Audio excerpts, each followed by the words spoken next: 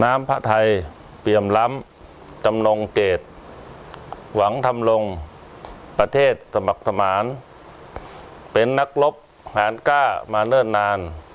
พระทรงงานเพื่อชาติองค์อาจคัน